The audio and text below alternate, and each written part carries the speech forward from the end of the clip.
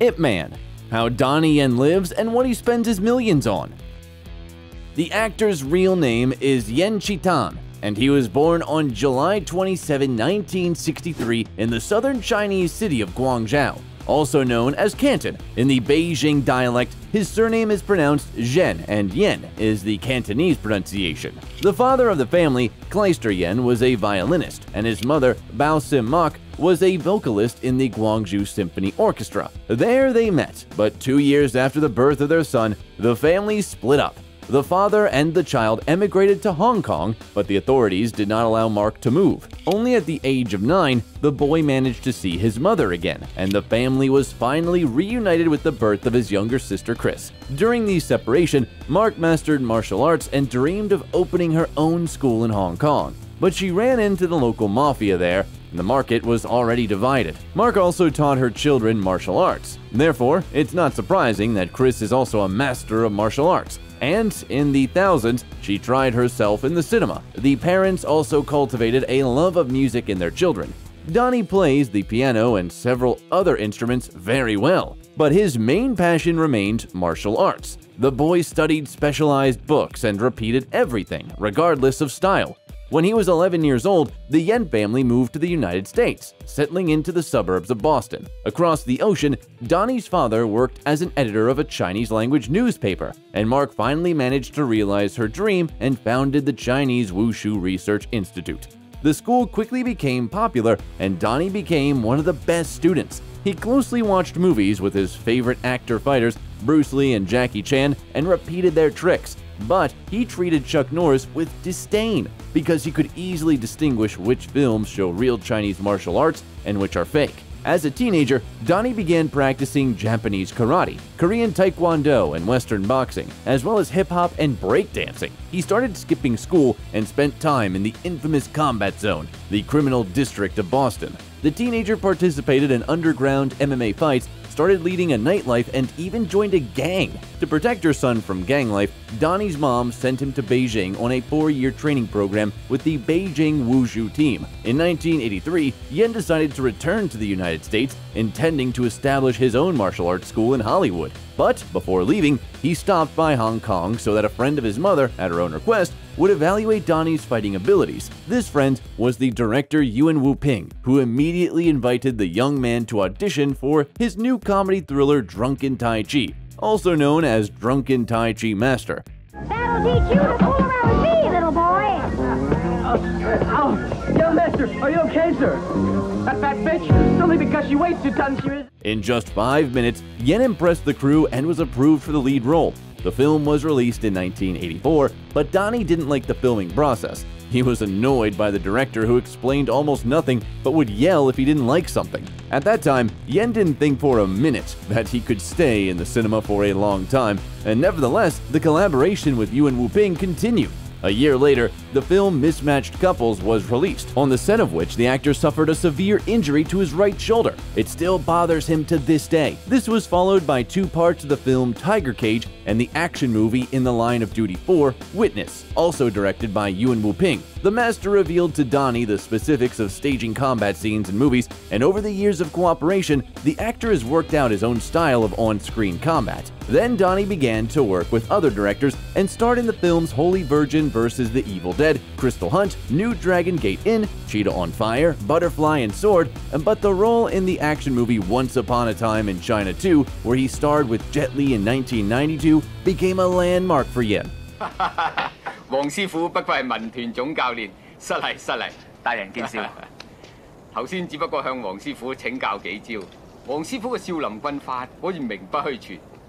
This work earned Donnie a nomination for the Hong Kong Film Award in the category Best Supporting Actor. In 1993, the actor reunited with Woo-ping on the set of the action movie Iron Monkey. Hmm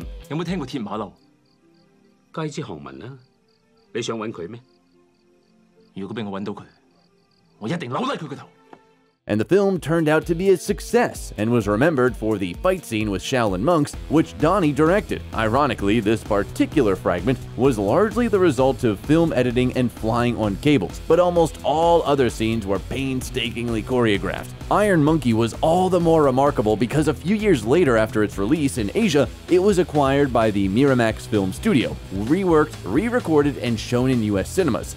After the premiere in New York and Los Angeles, the film received critical acclaim from American critics and a prize at the Taurus Award ceremony, the annual award of the World Academy of Stuntmen for the best stunts in cinema. In November of the same 1993, Donnie Yen married model Leung Xing-chi, but their family life lasted less than a year. After the breakup, Leung found out that she was pregnant, and in 1995, their son Manseok Yen was born. During this time, the actor starred in the films Hero Among Heroes Wing Chun, where he also acted as a composer writing the soundtrack, as well as High Voltage. In the latter, he made his debut as a co-director, and in 1996, the sequel to Iron Monkey was released. Next, the audience saw the action films Ballistic Kiss, Shanghai Affairs, and Legend of the Wolf. I hope to remember who I was after seeing you. You can't understand. Every night I have nightmares. It's terrible. I can't remember. All three were directed by Yen himself. The latter is also known as the new Big Boss and has become a true cult classic. After his divorce from his first wife, Donnie began dating an actress and fashion model from Hong Kong named Joey Meng. Their relationship ended in 2000, but one episode that happened in the late 90s stands out a lot. The young people went to relax in one of the nightclubs in Hong Kong, and when Donnie went to make an order, eight heavily drunk men showed unwelcomed interest in Joey. They were not stopped by the presence of the boyfriend, nor his warning to move away. When the couple left the club, the company continued to chase them on the street and attacked Yen. It was a big mistake because in the end, all eight men ended up in the hospital with fractures, abrasions, concussions, and bruises. Donnie himself only suffered a minor bruise and was arrested the next day, but was released almost immediately when the police found out it was self-defense. In 2000, the fantasy action film Highlander Endgame with Adrian Paul and Christopher Lambert in the lead roles was released.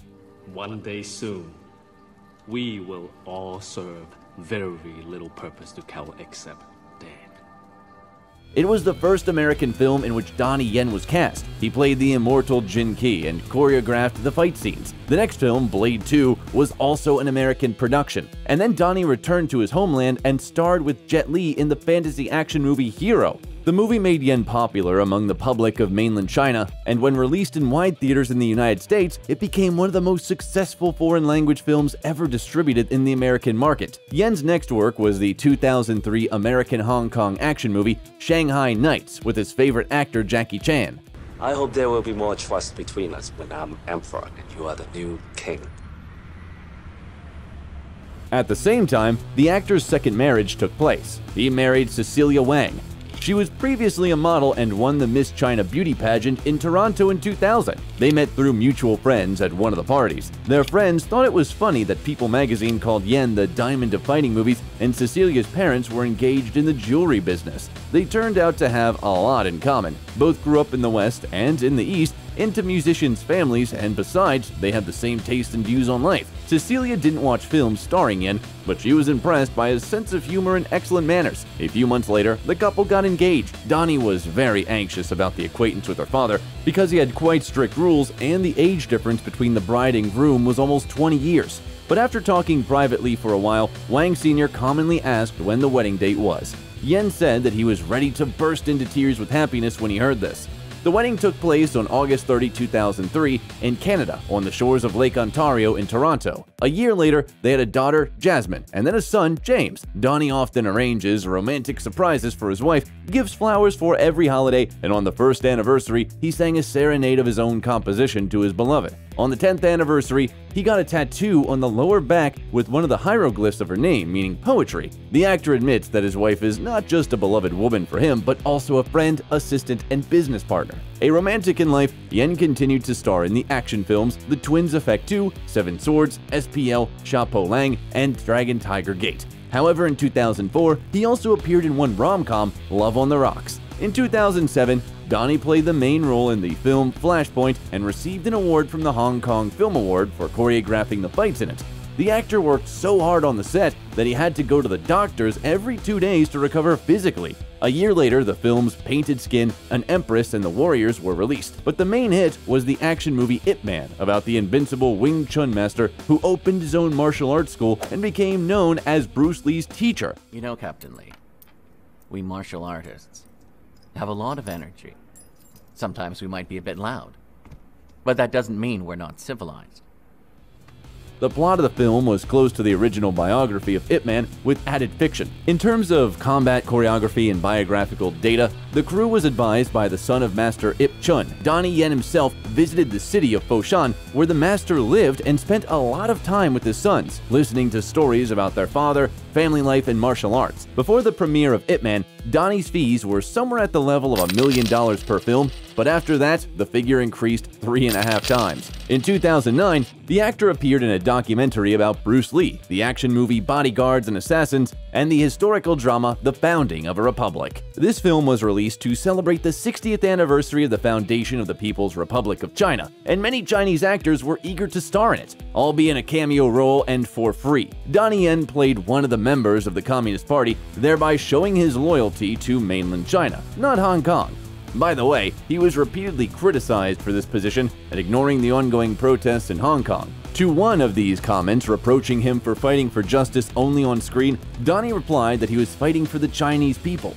It is worth noting that the most profitable fan base of Yen lives in mainland China. After the success of the first film about Ip Man, filming of the sequel begun almost immediately. It was released in 2010. 几时讲过啊？你真系唔记得咗啊？睇嚟我细个都几风趣。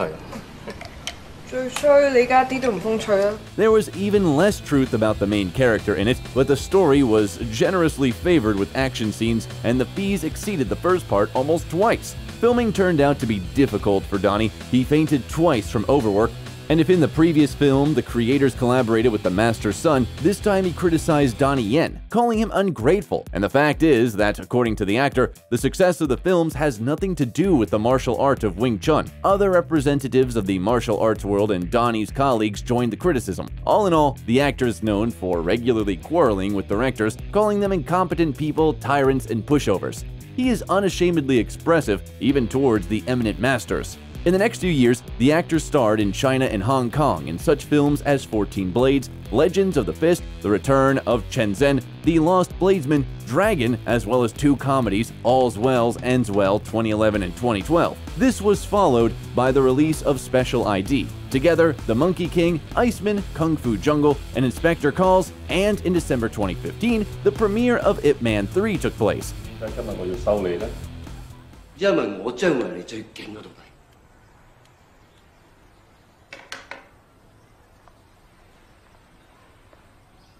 你呢？因为我将会系你最劲嗰度嚟。你凭咩咁谂啊？因为我个 Donnie explained the long break between the second and third parts by saying that many other films and TV projects about the character were coming out, and the market was somewhat oversaturated. This time, the plot virtually doesn't overlap with the real biography of the Great Master, but the formula for success with a large number of battle scenes worked again, and the film grossed 157 million with a budget of 36 million. Donnie's wife was very worried about her husband because he had to fight Mike Tyson on the set, but her fears were unfounded. On the contrary, Yen broke the famous boxer's finger. Back in 2015, the actor established the Yen's Honor Protection Fund in order to enable celebrities to defend themselves from slander. Donnie won the money with which the organization was founded in court against director Tan Bin. He accused Yen of refusing to work on his project, and he hired bots to threaten the actor's family. In 2016, the actor played the main role in the Netflix adventure thriller Crouching Tiger, Hidden Dragon, Sword of Destiny, and in the epic space opera Rogue One. Really? He's praying for the door to open. It bothers him because he knows it's possible. Donnie doubted whether to accept the invitation to play in the latter because he needed to be away from his family for a long time to film it, but his children literally forced him. They were so excited that their dad was going to be in a movie with lightsabers and spaceships that he couldn't resist. There in the US, Yen replaced Jet Li, who left the project for unknown reasons in the action adventure film XXX Return of Xander Cage. The premiere took place in early 2017, and soon the actor returned to his homeland to star in the crime drama Chasing the Dragon and the comedy thriller Big Brother. At the end of 2019, Ip Man 4, the finale, premiered. Despite Donnie Yen's statements that he didn't want to return to the series again, it is reported that his fee amounted to 12.8 million. In January 2020, the actor played a policeman who constantly gets into ridiculous situations in the comedy project Enter the Fat Dragon, and in March, the world saw him in the Disney movie Mulan. The actor got the role of Commander Tung, the mentor of the main character.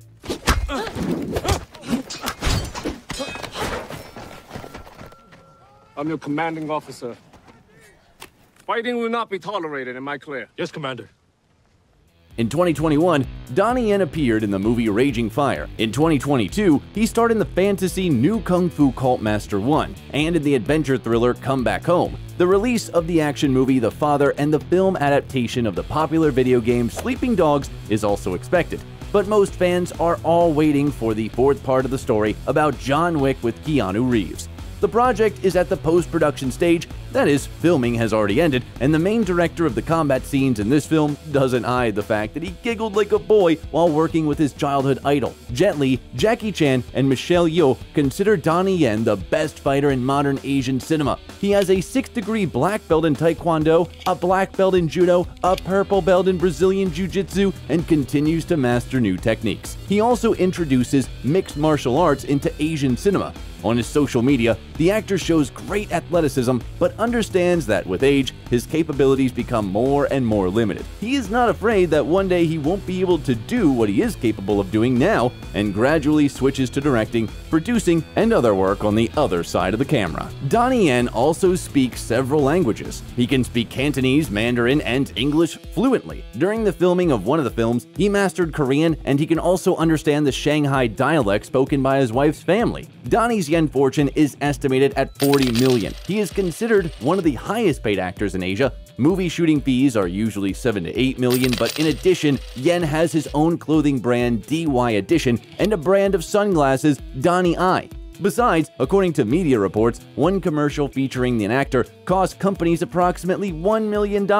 So he advertised a remedy for back pain, Hublot watches, BMW cars, the Nike sports brand, several video games, and together with his wife, they were the faces of the brand of orthopedic mattresses and pillows, Sinomax. Yen is also involved in several projects. For example, he called for the abandonment of plastic and appeared in an advertisement for the rescue services of Hong Kong. The actor is actively engaged in charity work and in 2012, together with his wife, founded an online platform encouraging people to help others. He is an ambassador of the international organization Save the Children. In 2015, he visited refugee camps in Thailand and in 2020, he donated $130,000 to medical workers in Wuhan. Yen has at least six properties in Hong Kong, each of which, except one, was bought for $1.5 million. The exception is a house in a prestigious area of Hong Kong, which cost 17 million. The media called this mansion the most stylish fortress with a gym and living room with a grand piano standing out in particular. It is reported that this property is 80% owned by Donnie's wife and he owns only 20%. In the garage, the actor has several Lamborghinis, Bentley Continental GT, and Toyota Alphard for family trips, and his closet contains very expensive accessories. He wears a $14,000 Rolex and an Audemars Piguet worth about 70,000, and back in 2016, Donnie bought a horse named Bad Boy who participated in horse racing. The actor himself often attends horse races. Do you like movies with Donnie Yen? Peter Dinklage, how Tyrion from Game of Thrones lives and how much he earns.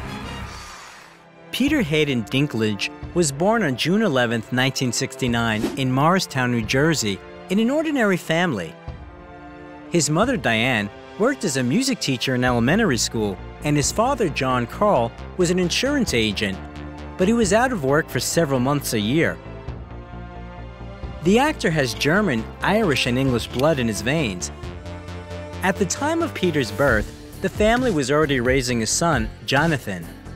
In early childhood, the future actor was diagnosed with a rare gene mutation, achondroplasia, This is a type of dwarfism in which the growth of limbs slows down. Although the head and body develop according to the norm, it is noteworthy that only Peter was diagnosed with this condition. The rest of the family members are absolutely healthy. At the age of five, the boy underwent surgery to straighten his legs, but doctors couldn't do more. In adolescence, Dinklage's height stopped at 4 feet 5 inches, while his weight was 77 pounds. Peter attended the Delbarton Catholic School for Boys. Because of his appearance, he was often bullied by his peers, and because of that, he became hot-tempered and unsociable. In an interview, Dinklage admitted that he managed to cope with the pressure of society thanks to his family, who taught him to accept himself. With age, the boy began to treat his condition with humor, which added to his confidence. In the fifth grade, Peter played the main role in the school production of The Velveteen Rabbit and received such a storm of applause that he decided to become an actor. After that, he participated in many productions until graduation. In his spare time, Dinklage developed his talent by performing puppet shows for neighbors with his older brother. By the way, Jonathan also had good acting skills, but his love for music prevailed, and he became a professional violinist. An interesting fact is that Bruce Springsteen's manager lived next door to the Dinklages. The famous musician often rehearsed there, and according to Peter's family, it was loud and they didn't like it at all. After graduating from high school in 1987, the actor enrolled at the Bennington Theatre College in Vermont, where he chose to major in playwriting. There, the guy proved himself as a talented and hardworking student, as well as a wonderful friend. Peter spent his extracurricular time, like all ordinary students, at loud parties with alcohol and music. He even performed with his own punk band Whizzy, where he played trumpet and was one of the singers. In memory of his carefree youth, Dinklage has a noticeable scar along his face, which he received during one of his concerts, jumping on stage. In 1991, the young man graduated from college. After that, he and his best friend Ian Bell went to New York, where they planned to open a theater company. The guys didn't have much money, so they rented a cheap apartment in Brooklyn with a horde of rats and no heating. For a long time, Peter couldn't find a job, theater groups didn't hire him, and movie producers only offered him to play leprechauns or gnomes. He refused to take them on principle, since most of them mocked people with dwarfism. After numerous casting failures, Dinklage got a job at a data processing company but the money he earned was barely enough to pay the rent. Peter admitted that at that time he could often afford only a pack of chips a day. In the end, the guys were evicted for non payment, after which Peter had to ask friends for a place to stay. Soon Dinklage got lucky and received a role in an independent movie in 1995, the aspiring actor made his screen debut in the comedy drama Living in Oblivion, where his partner on the set was Steve Buscemi, who became his good friend. Do you know anyone who's had a dream with a dwarf in it? No! I don't even have dreams with dwarves in them. The only place I've seen dwarves in dreams is in stupid movies like this. In the film, Peter actually played himself, an actor who, due to dwarfism, is offered only stereotypical roles. However, despite the fact that Dinklage's acting received high reviews from critics, he couldn't find an agent. In 1996, Peter starred in Mickey Rourke's action movie Bullet, but was not even listed in the official credits. In subsequent years, he only received minor roles in low-budget films, among which the most notable were Safe Men, Human Nature, just the Kiss, 13 Moons, and the TV series Third Watch. In 2003, Dinklage appeared in the drama The Station Agent, where he was cast as a reclusive dwarf doomed to endless ridicule by others. Really angry? About what? Being a dwarf. This role was a real breakthrough in his career and brought him many nominations for film awards, including the Screen Actors Guild Award for Outstanding Performance by a Male Actor in a Leading Role. In the same year, the actor starred in the Christmas comedy film Elf and in the drama Tiptoes, where his partners on the set were Gary Oldman, Matthew McConaughey, and Kate Beckinsale.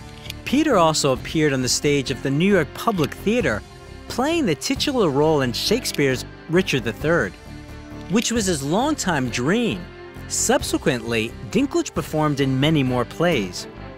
His love of the theater played a crucial role in the actor's personal life. Back in the late 90s, he met a theater director, Erica Schmidt, and a strong friendship arose between the young people based on mutual interest in dramatic art. And over the years, it turned into love.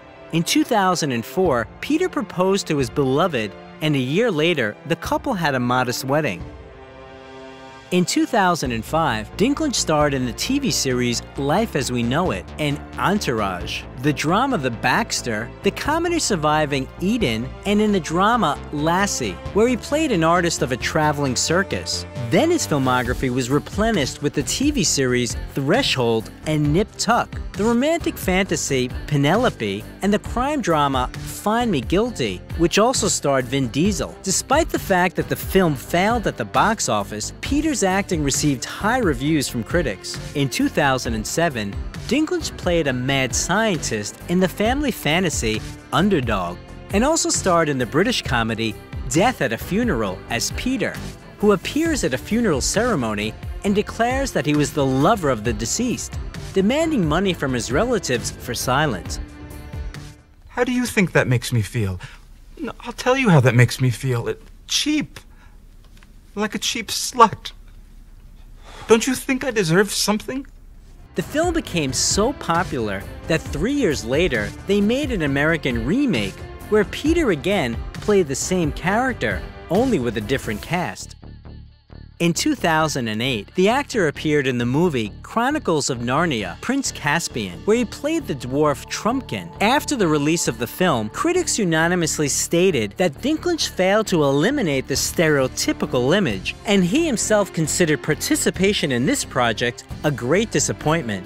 Then Peter's filmography was replenished with such works as the sitcom 30 Rock, the drama St. John of Las Vegas, the drama I Love You Too, the thriller The Last Rites of Ransom Pride, and the dark comedy Pete Smalls is Dead, where the man also acted as an executive producer. In 2011, Dinklage appeared in the romantic comedy drama A Little Bit of Heaven, as well as in the acclaimed series Game of Thrones, based on the series of novels A Song of Ice and Fire by George Martin. What you see is a dwarf. If I had been born a peasant, they might have left me out in the woods to die. Alas, I was born a Lannister of Casterly Rock. Things are expected of me. It is noteworthy that Peter became the first approved actor who didn't even participate in the casting. In the series, Peter played Tyrion Lannister, nicknamed the Imp, who led a rampant lifestyle. After the premiere of the first season, Dinklage's photo appeared on the cover of Rolling Stones. Playboy magazine called him a sexy man, and GQ awarded him the title of Stud of the Year 2011. The actor himself is skeptical about these titles, as he doesn't believe that in reality, women will be interested in people with dwarfism. Subsequently, Peter starred in seven more seasons of Game of Thrones, until 2019. In an interview, he admitted that when he got his hands on the script, he started reading it from the end to make sure that his character would live to see the last episode. At the same time, with each season, the popularity of his character only increased, and eventually he took second place in the ranking of the best characters of the series, second only to his on-screen sister, Cersei. At some point, I want to hear how a Night's Watch recruit became king in the North. As long as you tell me how a Lannister became hand to Daenerys Targaryen. Long and bloody tale. To be honest, I was drunk for most of it. By the way, Lena Headey, who played Cersei, is a longtime friend of Peter, and he advised the directors to invite her to the role. It's worth mentioning that among the actors of the series, Peter received the largest number of awards four Emmys, a Golden Globe Award, a Saturn Award, and a Screen Actors Guild Award. And the New York Times called Peter Dinklage one of the eight actors who turned television into art. Game of Thrones has become the most successful HBO project of all time, as well as the most expensive in the fantasy genre. According to some reports, Peter's fee per episode was $150,000 in the first two seasons, $300,000 in the third and fourth seasons, half a million in the fifth and sixth seasons, and the last season brought him $1.1 million per episode. Thus, Dinklage's total income from filming in the series exceeded $30 million. In between Game of Thrones seasons, the actor participated in other projects, voicing cartoon characters Scrat's Continental Crack Up Part 2, Ice Age Continental Drift, Rick and Morty, and Angry Birds Movie 2. He also voiced Tyrion in the video game based on the series. In addition, Peter appeared in several films, in 2013, his filmography was replenished with the drama A Case of You and the comedy Knights of Badassdom. And in 2014, he appeared in the dramas Lowdown and The Angriest Man in Brooklyn, as well as the fantastic action movie X-Men Days of Future Past, where he played the evil scientist Bolivar Trask. By the time you see the need for my program, it'll be too late and you will have lost two wars in one lifetime. It's worth noting that Dinklage wanted to star in this film so much that he agreed to the role without even reading the script. His acting received high reviews from critics, and he himself was nominated for the MTV Channel Award for Best Villain. In 2015, Peter starred in the drama Taxi and in the fantastic comedy Pixels, which was criticized and was nominated for the Golden Raspberry Anti Award. In 2016, Dinklage, together with his business partner David Ginsberg, founded a film production company, Estuary Films. In the same year, his filmography was replenished with the comedy The Boss, and in the following year, he appeared in the detective Rememory, the dramas Three Christs and Three Billboards Outside Ebbing, Missouri, starring Frances McDormand and Woody Harrelson. You two boyfriend and girlfriend? Early stages, you know? Is that right? We had a couple dates. The latter picture received high reviews from critics, and the creators, along with the actors, received many awards, including two Oscars and four Golden Globes. Despite the fact that Peter himself didn't receive anything for his role, the audience noted his image as one of the most memorable. In 2018, the actor played the main role in the fantastic drama I Think We're Alone Now, and in the biographical film My Dinner with Hervé, which tells about the last days of the French actor Hervé Villechaize.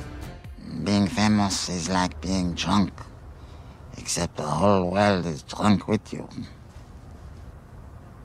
By the way, in both films, Peter was also a producer. In the same year, Dinklage appeared as a giant dwarf in the superhero movie Avengers Infinity War, which became one of the highest grossing films in history. What happened here? You were supposed to protect us. Asgard was supposed to protect us! Asgard is destroyed. In 2019, Peter played a cameo role in the comedy Between Two Ferns, the movie. And next year he starred in the thriller I Care a Lot. He also voiced one of the characters of the cartoon The Croods, A New Age. In 2021, Dinklage appeared in the title role in the musical Cyrano, based on the plot of the stage play of the same name, the script of which was written by his wife. Freak. Is that it? Have you exhausted your dictionary of scorn? Interestingly enough, he literally begged Erica to choose him for this role, as he dreamed of singing on stage. However, unlike the original work, the disadvantage of the main character is not a huge nose, but a small stature. For his brilliant performance in the musical, Peter was nominated for a Golden Globe. Now Peter's acting career is still on the rise. In the summer of 2022, the comedy American Dreamer premiered. Also the filming of the movies She Came to Me, The Toxic Avenger, and Brothers has already been completed. And The Hunger Games, The Ballad of Songbirds and Snakes, and Hit Pig are at the stage of filming. To date, Dinklage's fortune is estimated at $25 million, which includes film royalties and advertising contracts. In 2017, Peter starred in an advertising short film of the beer brand Estrella Damm. and in 2018, he rapped in a commercial for Doritos and Mountain Dew with Morgan Freeman. The actor also advertised Cisco's The Network Intuitive, the funny thing is that Dinklage, having become famous, signed such a serious contract because at the beginning of his career, he was only offered the role of elves in Christmas advertising, which he refused. The celebrity carefully hides his personal life from the public. Peter doesn't have social media accounts and is very angry when paparazzi are watching his family, the media learned that in December 2011, his wife gave birth to his daughter, whose name they don't disclose, and in September 2017, another child appeared in the family, whose gender and name are also unknown. According to some reports, the children don't inherit their father's condition. Dinklage and his family lived in Manhattan for a long time, where he could often be seen walking his dog or riding a scooter. A few years ago, the couple moved to a country house with a huge garden, which Peter enjoys taking care of. But all this remains hidden from the cameras and the prying eyes of fans. The actor owns a Chrysler 300, which was designed specifically for his condition. For obvious reasons, he also orders custom-made outfits or buys clothes in children's stores. Dinklage has been a vegetarian since the age of 16 when he needed to eat meat on the set of Game of Thrones, instead of real meat, they used tofu or just fake food. Peter is also a member of several animal rights organizations. One, he voiced the video Face Your Food on behalf of PETA, promoting eating vegan food for ethical reasons. The actor was repeatedly asked if he, as a celebrity, wanted to represent the interests of people with dwarfism. Dinklage replied that even now, he doesn't always manage to put up with his condition. So it would be hypocritical to try to help people cope with something that he can't cope with himself. However, he still took advantage of his popularity to draw attention to one incident. In 2012, in his speech at the Golden Globe ceremony, he mentioned the actor with dwarfism, Martin Henderson, who was thrown by a drunk rugby player at a New Zealand bar. As a result of the fall, Henderson suffered spinal damage and eventually died of his injuries in 2016. Peter became world famous after the release of Game of Thrones, but his filmography is full of other outstanding works. What movie with Peter Dinklage do you like the most? If you like the video, leave a like and also subscribe to the channel so that you don't miss anything interesting.